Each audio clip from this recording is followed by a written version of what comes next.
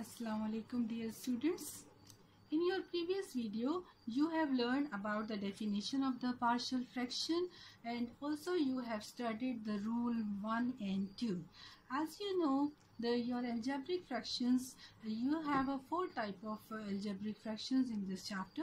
The rule one was when you have a non-repeated linear factor in a denominator and rule two was when you have a repeated linear factor in a denominator. So today our topic is the third rule. If a quadratic factor ax square plus bx plus c with a is not equal to 0 occurs once as a factor of the denominator x the partial fraction is of the form ax plus b over ax square plus bx plus c where a and b are constant to be found. So we have a question resolve 11x plus 3 over x minus 3 x square plus 9 into partial fraction. So one is the linear factor and one is the quadratic factor. So this quadratic factor once occur in a denominator. So before starting a question, you should know about the definition of the proper and improper which you have already learned in the previous video.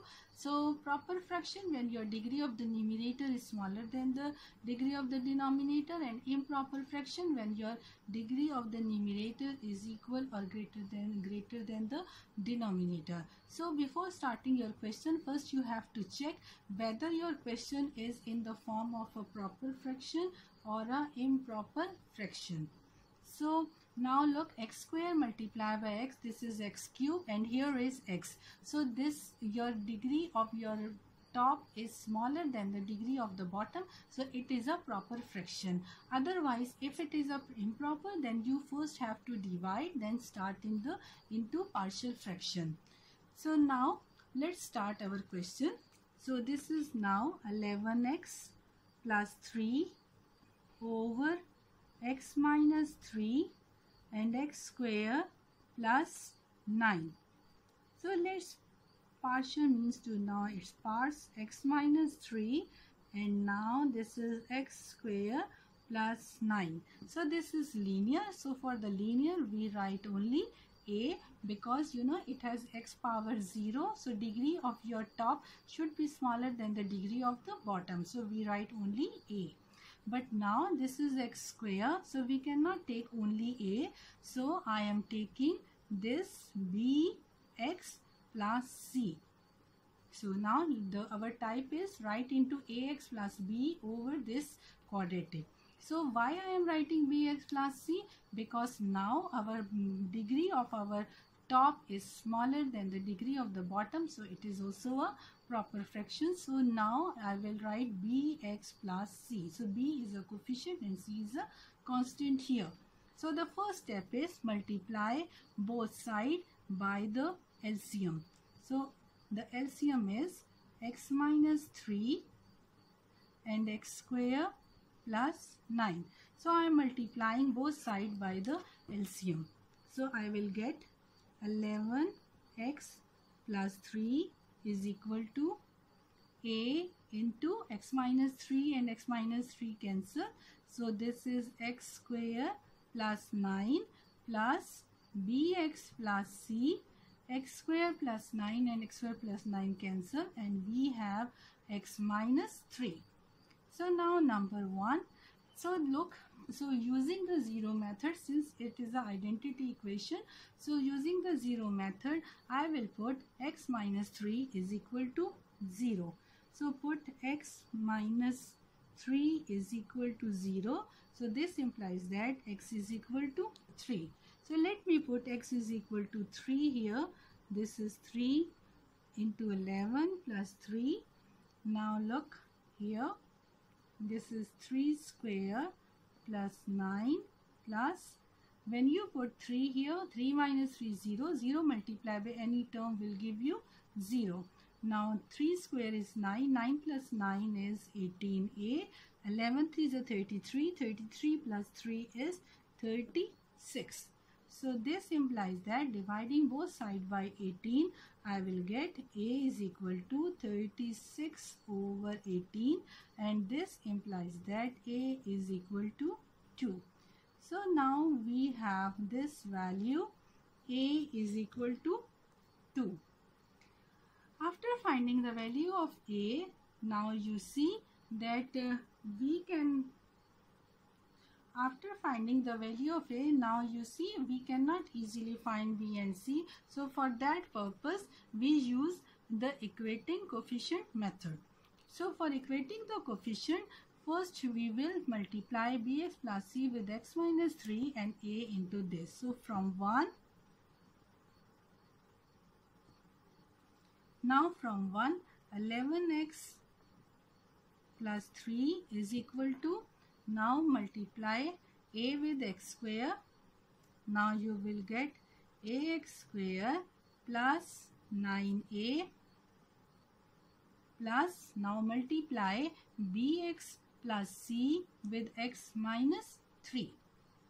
Now I am multiplying bx multiplied by x. Now I will multiply in this way. So bx square bx multiplied by minus 3 minus 3bx plus c multiplied by x cx and c multiplied by minus 3 minus 3c. Now 11x plus 3. Now combining the like terms ax square plus bx square. Now I have minus 3bx minus 3bx plus cx and its constant this 9a minus 3c. So after this let's take the common. Now I am taking x square common a plus b this is x square plus taking x common minus 3b plus c with x and now 9a minus 3c. Now let's imagine okay, here you have 0x square and 11x plus 3. So now comparing the coefficients of x square. Now comparing the coefficient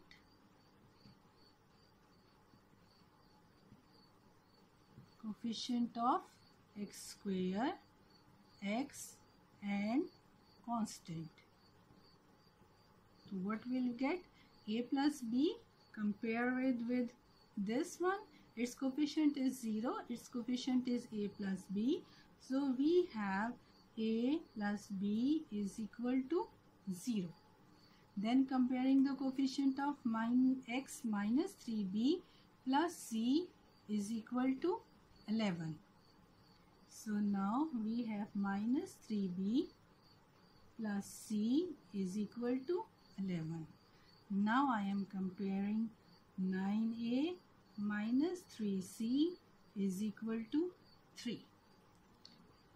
We have a value of a. Now putting the value of a here. The value of a, I am putting the value of a here. So b is equal to 2. Shift 2 to that side b is equal to minus 2. Now we have b is equal to minus 2. Now I will put the value of b here to get the value of c. Now minus 3. What is the value of b?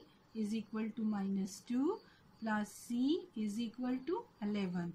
So 6 plus c is equal to 11. So c is equal to 11 minus 6 is equal to 5.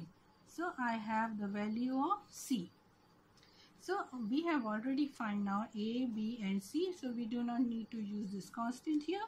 So now the partial fraction putting the value of A, B, C in this question uh, A over this and let us name it as number 1. So now putting the values in 1. This is 1. So let's change name. So now putting the values in 1. So our fraction 11x plus 3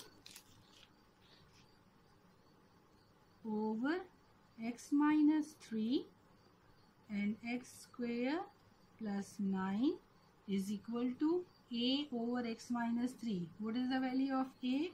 2 over x minus 3 plus b. What is b? Minus 2x and what is c? c is 5. I am putting the value here and here. Minus 2x plus 5 over x square plus 9. So now your question resolve into partial fraction. So with the help of this uh, question, you will be able to solve the exercise. So be careful. First you have to check whether your question is in a proper form or in a improper form. Thank you.